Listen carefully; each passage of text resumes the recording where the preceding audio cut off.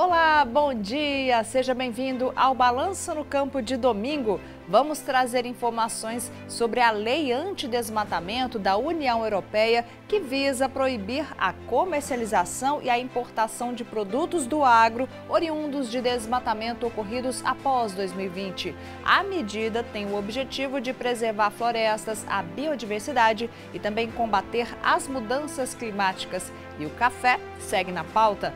Vamos trazer ainda muitas outras notícias do agro e também a previsão do tempo.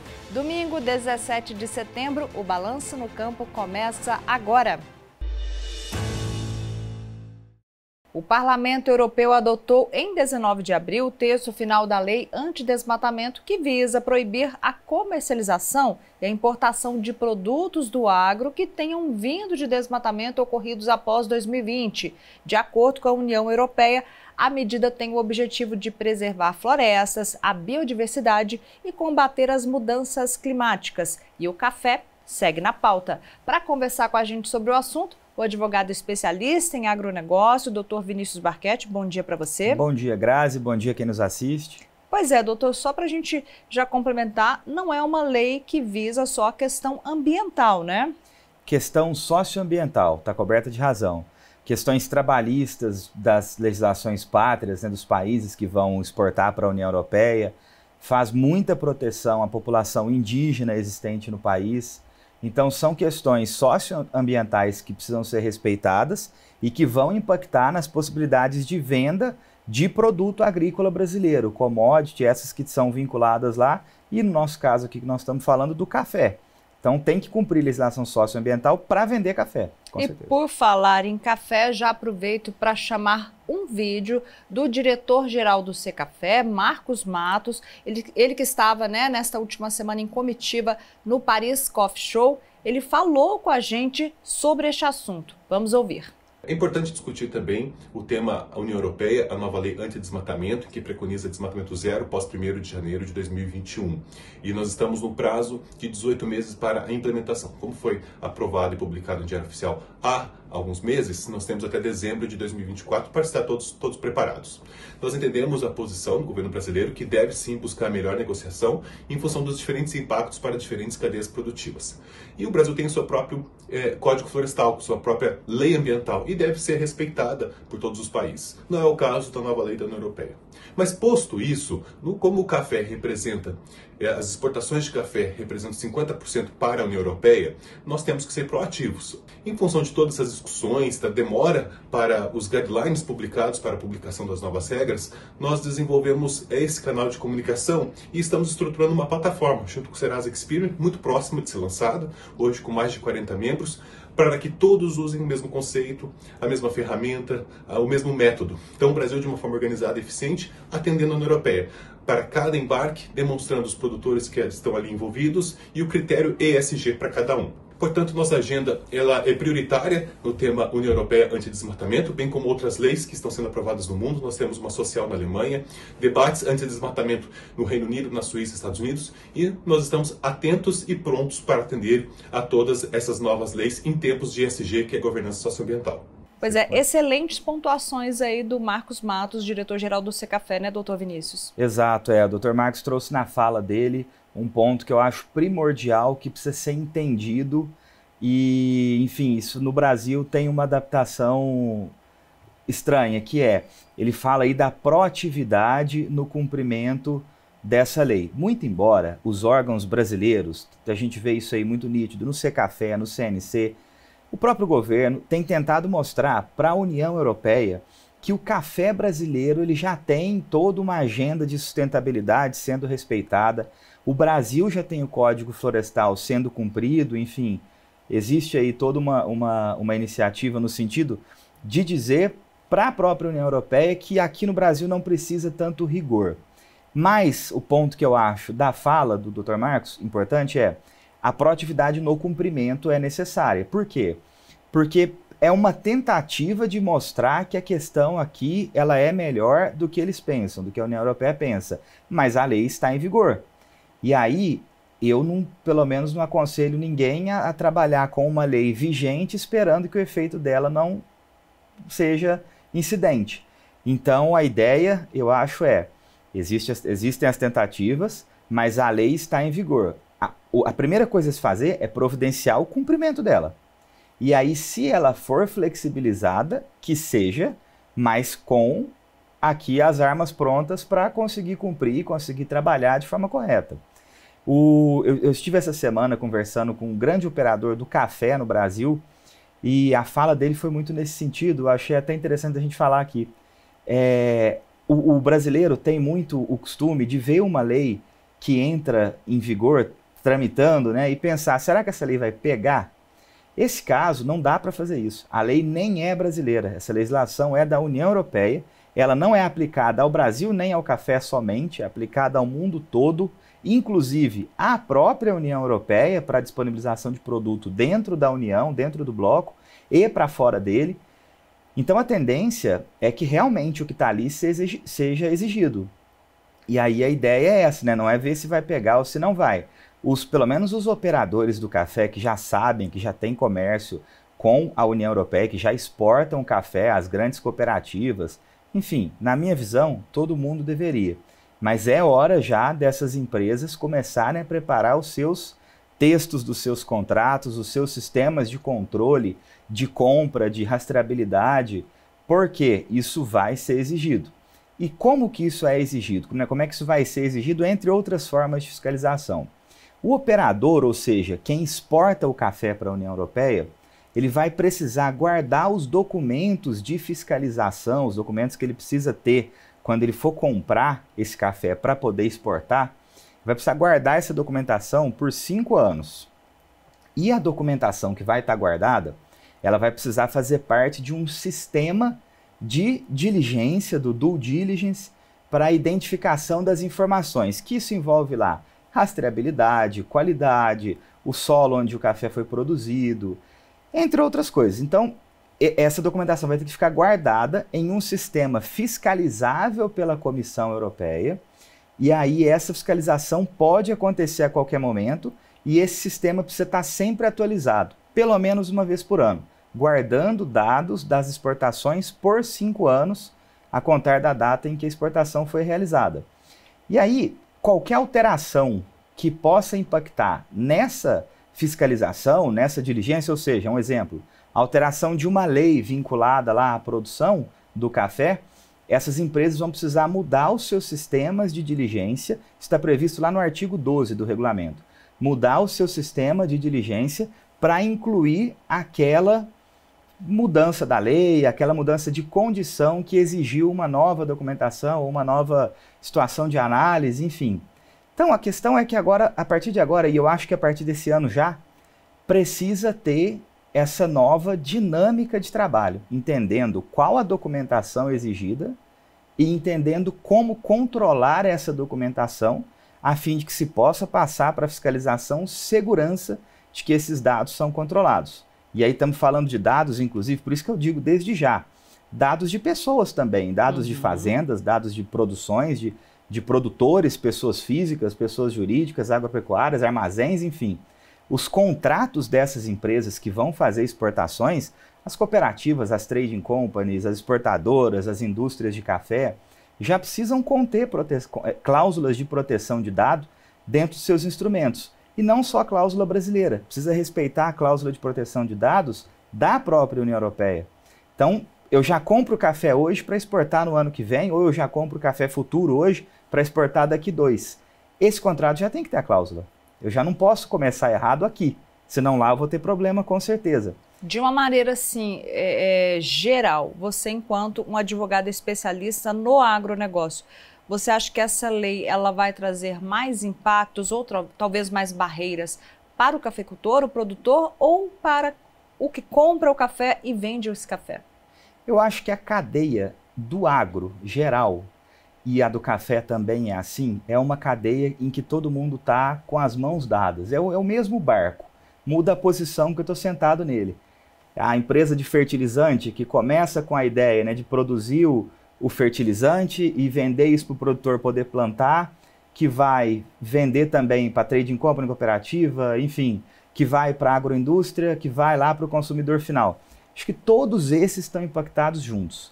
Porque se alguém que está exportando precisa fiscalizar e ter documentação hábil a fazer a exportação, ele vai comprar de alguém que vai precisar também estar tá habilitado a vender para exportação, que vai comprar fertilizante de alguém que vai também ter que estar tá habilitado para mostrar que aquele fertilizante faz parte dessa cadeia.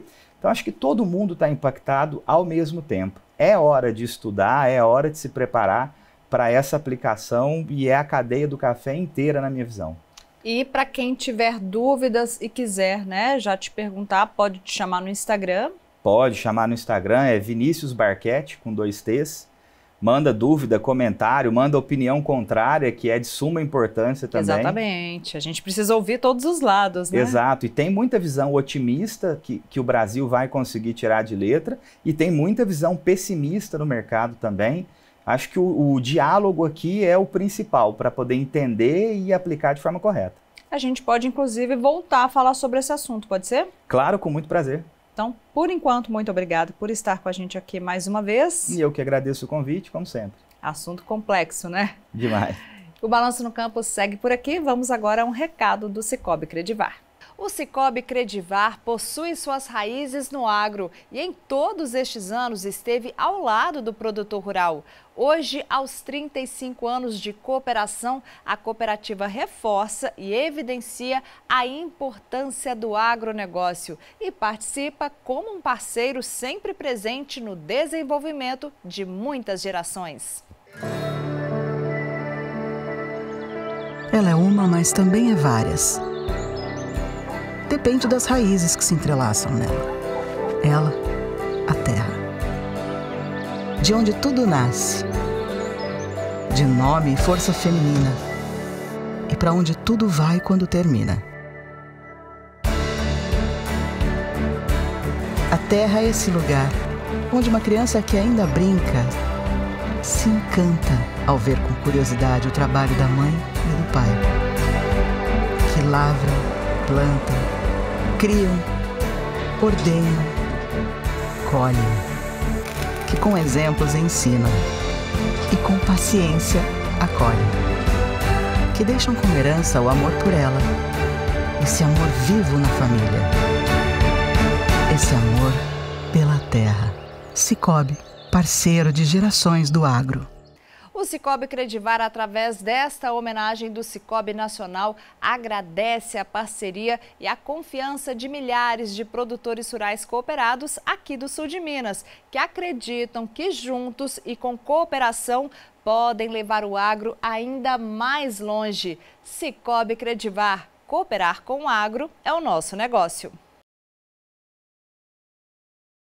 A Fundação Procafé divulgou o último aviso fitossanitário referente ao mês de agosto. Segundo o boletim, o último mês teve temperaturas acima da média no sul de Minas. E o que chama atenção é a ferrugem no cafeeiro, que tem causado desfolha nas plantas. O calorão dos últimos dias é um sinal de que já estamos sob o fenômeno El Ninho. Mas, apesar das altas temperaturas, as chuvas também ficaram acima da média para o período no sul de Minas Gerais. Ainda assim, o déficit hídrico já começa a dar sinais. É o que aponta o último relatório da Fundação Procafé, que faz medições nas regiões produtoras de café em Minas Gerais e na Alta Mogiana Paulista. Esse último mês de agosto, as temperaturas ficaram um pouco acima da média aqui na região do sul de Minas. O normal a gente tem uma temperatura de 18 graus, a gente teve 19,2.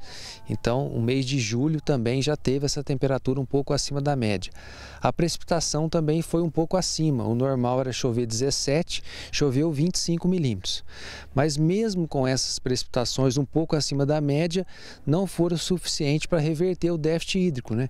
Varginha, a gente está com um déficit de 30 milímetros, Boa Esperança, a gente está com um déficit de quase 120 milímetros. Né?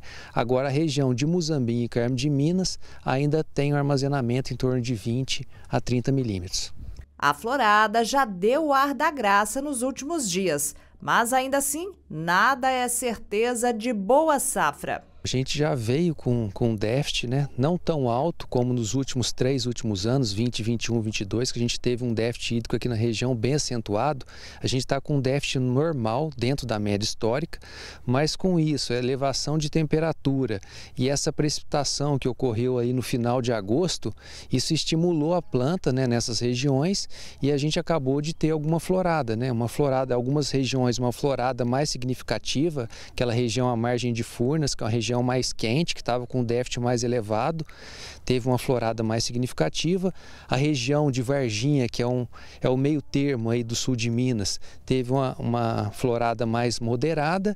E a região de Carmo de Minas, a região da Mantiqueira, que é a região mais alta, uma pequena florada ainda, com estímulo aí para as próximas floradas futuras. Segundo o engenheiro agrônomo da Procafé, agora é torcer para que mais precipitações ocorram ainda neste mês. Assim, a florada do café terá um bom pegamento. A expectativa é que ocorram né, chuvas aí em setembro, principalmente para fazer essa manutenção hídrica no solo e a gente tenha esse pegamento bom dessa florada, né? A preocupação é com a ferrugem no cafeeiro. Os índices médios de infecção estão em 32% de folhas infectadas nas lavouras de Varginha, Carmo de Minas e Boa Esperança. Com relação às doenças, o que ainda chama atenção um pouco é a infecção de ferrugem, que na média do sul de Minas ainda está em 32%.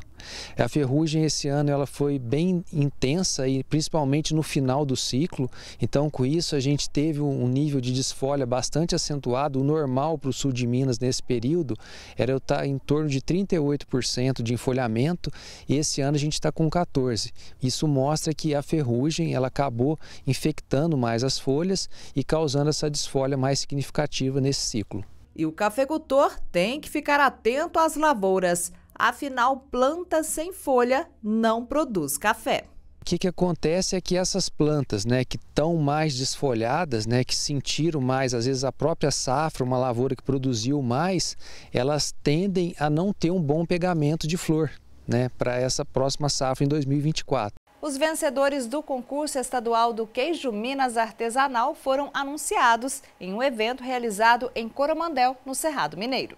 A premiação contou com a participação de vários produtores do estado. Os cinco queijos finalistas do concurso estadual do queijo Minas Artesanal atingiram um padrão bastante alto, segundo a avaliação dos jurados. O júri técnico, composto por 25 estudiosos da produção queijeira e profissionais de gastronomia, levou em conta aspectos como apresentação, cor, textura, consistência, paladar e olfato dos queijos. O produtor José Orlando Ferreira Júnior de Carrancas foi o grande campeão do concurso. É a matéria que me colocou nesse caminho do queijo artesanal, me colocou, me deu toda assistência, me ajuda, me dá assistência até hoje, sempre que eu preciso, está do meu lado. Vou falar assim, é mais do que parceiro, é um irmão, não é uma irmã. Acho que é um sonho que todo mundo tem, que produz o queijo e dedica e quer é ter um resultado. E esse resultado aqui, eu acho que é o sonho de qualquer queijeiro, né? É muito bom. O ano passado eu fiquei em vice, em segundo lugar. Na pandemia eu fiquei em terceiro. Então já veio descendo, já uma, tá vindo correndo atrás desse primeiro aqui já faz um bom tempo já. Já no concurso estadual dos queijos artesanais de Alagoa e Mantiqueira de Minas, os primeiros colocados foram Júlio Silvestre de Lima, da cidade de Carvalhos, e Guilherme Arantes Rosa Maciel, de Ayuruoca. Parabéns, Júlio Silvestre de Lima. Recebe por ele a gerente da Fazenda, Paula de Lima. Essa é a 16ª edição do concurso estadual dos queijos artesanais de Minas Gerais. Cerca de 80 produtores de morango participaram do primeiro dia de campo do ATG Fruticultura em Alfredo Vasconcelos, na Zona da Mata. O evento foi realizado pelo Sindicato Rural de Barbacena. O evento teve como objetivo capacitar e melhorar o conhecimento dos produtores de morango na região do Campo das Vertentes. Técnicas de cultivo, manejo e conservação fizeram parte do conteúdo. A programação contou com apresentações e palestras sobre o cultivo do morango, métodos de apresentação do produto ao consumidor final e projeção do setor para os próximos anos. Cerca de 80 produtores participaram do primeiro dia de campo e fruticultura em Alfredo Vasconcelos. O primeiro vice-presidente de finanças do sistema FAENG-Senar esteve no evento. Os números desses produtores.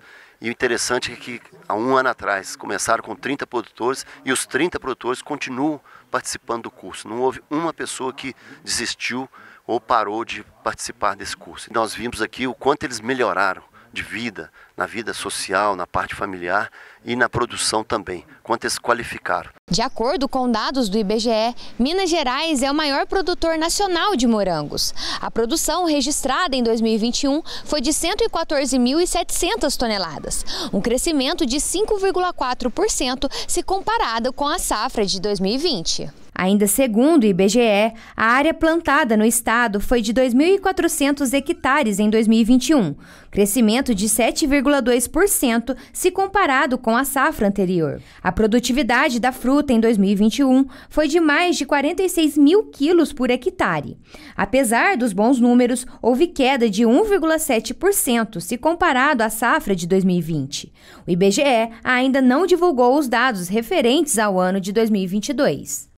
E o Balanço no Campo está de volta. Vamos agora acompanhar como fica a previsão do tempo para algumas cidades de Minas Gerais. E eu já começo com Varginha, no sul de Minas. A máxima de hoje não passa aí de 32 graus, calorão. Não tem previsão de chuva para este domingo. Amanhã, segunda-feira, máxima também de 32, com mínima de 15 graus, também sem previsão de chuva. Terça-feira, muito sol, máxima de 32, mínima de 14. Na quarta, sol entre nuvens, com máxima de 31 e mínima de 13 graus, sem previsão de chuva para Varginha até quarta-feira. Montes Claros, norte de Minas, hoje máxima de 33, também não tem previsão de chuva. Amanhã, máxima de 31, com mínima de 19. Na terça, sol, calorão para Montes Claros máxima de 33, mínima de 18 e na quarta-feira também sol e calor, máxima de 33 e a mínima de 17, também sem previsão de chuva aí para Montes Claros. Vamos agora para Juiz de Fora, na Zona da Mata. Máxima de hoje 29 graus, também não chove neste domingo ali em Juiz de Fora. Amanhã, segunda-feira, também máxima de 29, com mínima de 15. Terça-feira, sol e calor, 30 graus, vai chegar em Juiz de Fora com mínima de 15 e na quarta também sol com máxima de 29 e mínima de 14 graus. Então, não tem previsão de chuva para essas cidades aqui em Minas Gerais.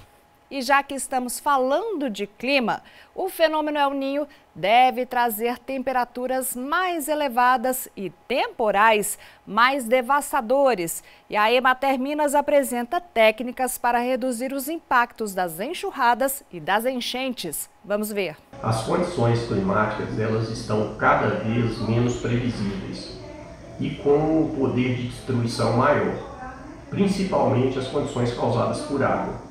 A proposta desse material que a Emater traz é de medidas agronômicas que são praticadas hoje, que ela tem experiência em campo, serem colocadas para minimizar o impacto dessas grandes enchentes, dessas grandes cheias. Ela se baseia em técnicas conservacionistas é, factíveis, algumas de custo baixo, que podem ser adotadas em municípios é, que vão reter essa água nas propriedades rurais, diminuindo a sua velocidade o seu impacto, evitando assoreamento e reduzindo o poder das enchentes.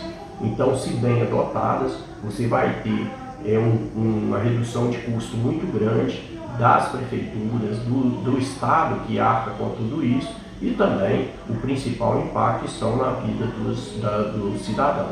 Então, o objetivo desse material é isso, é um compilado de práticas para minimizar os impactos da água de chuva. Agora eu quero trazer um recado super importante para você. A Minasol é uma indústria de calcário que trabalha com tecnologia de ponta e a melhor matéria-prima para enriquecer o seu solo, garantindo alta produtividade e colheita farta. Confere comigo! Há mais de 20 anos, a Minasol tem o compromisso de levar aos seus clientes o melhor do calcário agrícola. Pratique a calagem e acelere o crescimento do seu plantio. Com o calcário Minasol, você, amigo produtor, garante resultados potencializados e a certeza de uma colheita farta. A sua terra alimenta e movimenta o povo brasileiro. E o produtor que valoriza a terra que tem, usa calcário Minasol. Viram só? O calcário dolomítico Extra Mais da Minasol tem garantia de 10 a 12% de magnésio, capaz de oferecer os nutrientes necessários para uma produção agrícola saudável e de alto rendimento. Entre em contato com a equipe de vendas da Minasol pelo site www.minasol.com.br ou pelo Instagram, arroba Minasol Calcário. Calcário Minasol é alta produtividade quem compara, compra Minasol. E o Balanço no Campo vai ficando por aqui, mas você pode rever nossas reportagens acessando o site da Rede Mais e, claro, o nosso Facebook e também o nosso YouTube. Muito obrigada pela companhia de vocês. Desejo para cada um de vocês um ótimo domingo, um excelente dia e, claro, uma excelente semana. Muito obrigada e até o próximo Balanço no Campo, hein? Tchau, tchau!